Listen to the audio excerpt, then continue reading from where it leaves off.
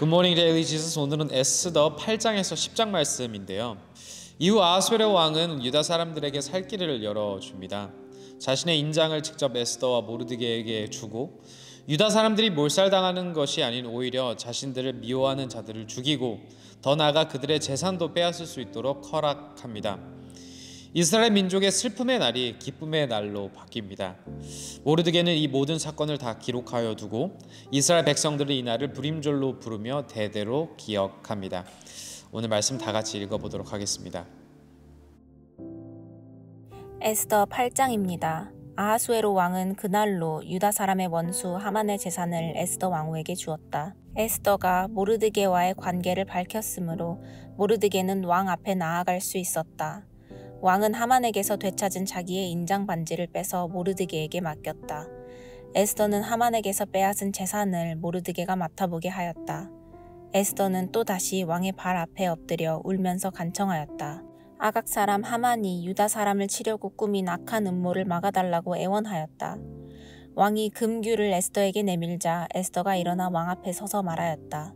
내가 임금님께 은혜를 입었고 임금님께서 나를 귀엽게 보시고 내 말이 임금님께서 들으시기에 옳다고 생각하시면 임금님께서 나를 사랑스럽게 생각하시면 아각자손 함무다다의 아들 하만이 임금님의 나라 여러 지방에 사는 유다 사람을 다 없애려고 흉계를 꾸며 쓴 여러 문서가 무효가 되도록 조서를 내려주십시오.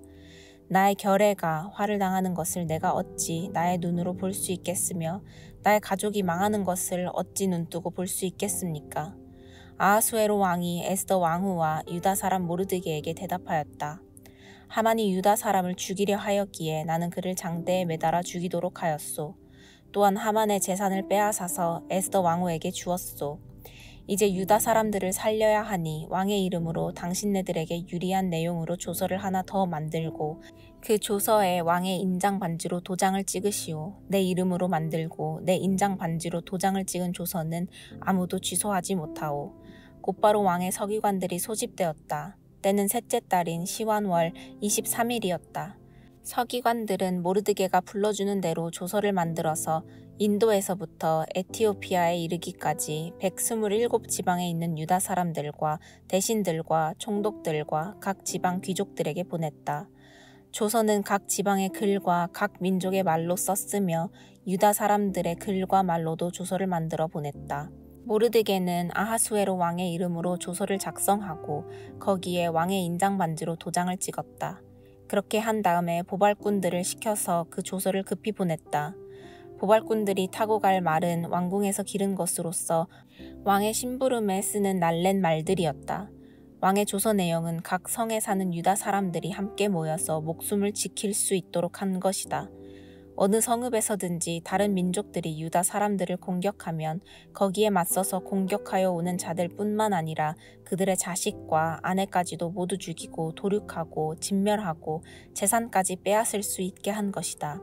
그러나 아하수에로 왕이 다스리는 모든 지방에서 유다 사람들이 이런 일을 할 수 있는 날은 열둘째 달인 아달월 13일 하루 동안으로 규정하였다. 각 지방에서는 그 조서를 법령으로 공포하여 각 민족에게 알리고 유다 사람들이 대적들에게 원수 갚을 날을 미리 준비하게 하였다. 왕의 명령은 이처럼 빨리 전달되어야 하는 것이었으므로 보발꾼들은 왕의 심부름에 쓰는 날랜 말을 타고 급히 떠났다. 도성 수산에도 조서가 나붙었다. 모르드게는 보라색과 흰색으로 된 궁중 예복을 입고 큰 금관을 쓰고 고운 모시로 짠 붉은 겉옷을 입고 어전에서 물러나왔다. 수산성에서는 즐거운 잔치가 벌어졌다. 유다 사람들에게는 서광이 비치는 기쁘고 즐겁고 자랑스러운 날이었다. 지방마다 성읍마다 왕이 내린 명령과 조서가 전달된 곳에서는 어디에서나 그곳에 사는 유다 사람들이 잔치를 벌였다. 그들은 기뻐하고 즐거워하며 그 날을 축제의 날로 삼았다. 그 땅에 사는 다른 민족들 가운데서 많은 사람들이 유다 사람들을 두려워하므로 유다 사람이 되기도 하였다. 9장입니다. 열둘째 달인 아달월 13일 드디어 왕이 내린 명령과 조서대로 시행하는 날이 되었다. 이 날은 본래 유다 사람의 원수들이 유다 사람을 없애려고 한 날인데 오히려 유다 사람이 자기들을 미워하는 자들을 없애는 날로 바뀌었다. 아하수에로 왕이 다스리는 모든 지방의 각 성읍에 사는 유다 사람들은 성읍별로 모여서 자기들을 해치려고 한 자들을 공격하였다. 모든 민족이 그들을 두려워하였으므로 아무도 막을 수 없었다. 각 지방의 대신들과 제후들과 총독들과 왕의 행정관리들은 모르드게가 무서워서도 유다 사람들을 도왔다. 당시 모르드게는 왕궁에서 실권을 잡고 있었고 그의 세력은 날로 더하여 갔으며 그의 명성은 전국 방방 곳곳에 퍼졌다. 유다 사람들은 그들의 원수를 다 칼로 쳐 죽여 없앴으며 자기들을 미워하는 자들에게 하고 싶은 대로 다 하였다. 유다 사람들은 도성 수산에서만도 그런 자들을 500명이나 처형하였다.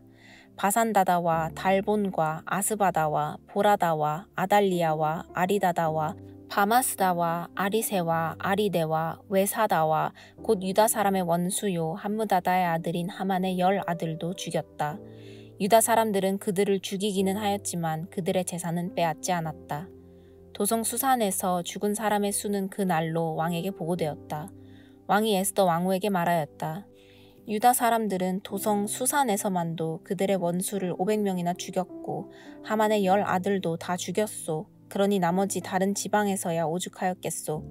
이제 당신의 남은 소청이 무엇이요? 내가 그대로 들어주리이다. 당신의 요구가 또 무엇이요? 당신이 바라는 대로 하여 주겠소. 에스더가 대답하였다. 임금님께서만 좋으시다면 수산에 있는 유다 사람들이 내일도 오늘처럼 이 조서대로 시행하도록 하여 주십시오. 그리고 하만의 열 아들의 주검은 장대에 매달아 주십시오. 왕은 그렇게 하라고 명령을 내렸다. 수산에는 조서가 내렸고 하만의 열 아들의 주검은 장대에 매달렸다. 수산의 유다 사람들은 아달월 14일에 한 곳에 모여서 수산에서만도 300명을 죽였으나 역시 재산은 빼앗지 않았다. 그러는 동안에 왕이 다스리는 각 지방에 있는 나머지 유다 사람들도 지방별로 함께 모여서 조직을 정비하고 자체 방어에 들어갔다. 그들은 원수들을 무려 7만 5천 명이나 죽였으나 역시 재산은 빼앗지 않았다. 이 일이 일어난 것은 아달월 13일이었다. 14일에는 쉬면서 그 날을 잔치를 하면서 기뻐하는 날로 삼았다. 그러나 수산에 사는 유다 사람들은 13일과 14일에 모여 일을 벌였으므로 15일에는 쉬면서 그 날을 잔치를 하면서 기뻐하는 날로 삼았다. 성벽이 없는 여러 마을에 사는 유다 사람들이 아달월 14일을 명절로 정하고 즐겁게 잔치를 벌이면서 서로 음식을 나누어 먹은 까닭도 바로 이것이다. 모르드게는 이 모든 사건을 다 기록하여 두었다. 그는 또 멀든지 가깝든지 아하수에로 왕이 다스리는 모든 지방에 사는 유다 사람들에게 글을 보내서 해마다 아달월 14일과 15일을 명절로 지키도록 지시하였다. 그 날에 유다 사람이 원수들의 손에서 벗어났으며 그 날에 유다 사람의 슬픔이 기쁨으로 바뀌었고 초상날이 잔칫날로 바뀌었으므로 모르드게는 그 이틀 동안은 잔치를 벌이면서 기뻐하는 명절로 정하고 서로 음식을 나누어 먹고 가난한 사람들에게 선물을 주는 날로 지키도록 지시하였다. 그래서 유다 사람들은 모르드게가 그들에게 글로 써서 지시한 대로 자기들이 시작한 그 명절을 해마다 지켰다. 유다 사람의 원수 아각의 자손 함무다다의 아들 하마는 유다 사람들을 죽여 없애려고 주사위의 일종인 부르를 던져서 유다 사람들을 다 없앨 날을 받았으나 에스더가 그 음모를 왕 앞에 말하니 왕은 하만이 유다 사람을 해치려고 꾸민 악한 흉계가 하만 자신에게 돌아가도록 하고 하만뿐만 아니라 그의 모든 아들까지도 장대에 매달도록 글로 써서 조서를 내렸다. 그래서 주사위의 일종인 부르라는 말을 따라 이 두 날을 불러서 불임이라고 하였다.